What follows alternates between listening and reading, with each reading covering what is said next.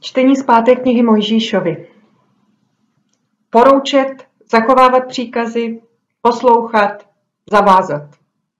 Někdo možná v dnešním čtení uslyší hlavně tato slova a toho potom zaváží poslouchání a poručí mu, aby zachovával příkazy. Člověk sklopí hlavu, ohne záda a obrátí se k druhým. A od nich pak vyžaduje, aby ho poslouchali, zaváže je svým prohlášením a poručí jim, aby poslouchali jeho příkazy. Větší cti a chvále. Ale k čí cti a chvále? K boží nebo člověčí? Tak to jde z generace na generaci, z rodičů na děti, pořád dál a dál.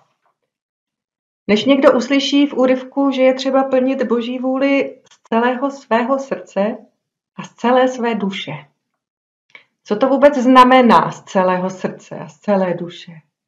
Dá se něco takového vynutit nebo nakázat, přikázat? Já myslím, že ne. Sáhnout si na dno duše a srdce a najít tam touhu jít po boží cestě, pro mě znamená se do Boha zamilovat. Nechtít nic jiného tolik, než být právě s Bohem, než plnit jeho vůli. Nic není tak uspokojivé, krásné, radostné, nic nepřináší takové potěšení. Slova nikdy stačit nebudou, ale rozhodně to neznamená, že musíme. Bůh nám vyznává lásku a chce po nás, abychom ji přijali.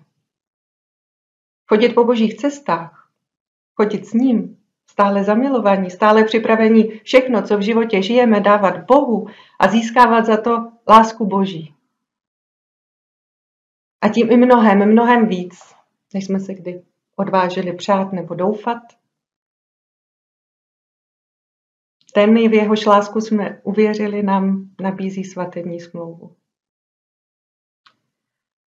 A hospodin prohlásil, že bude tvým Bohem a budeš lidem zasvěceným hospodinu, svému Bohu. Člověk uslyší, zvedne hlavu a obrátí se k druhým. Můj půst touží po takovém obrácení.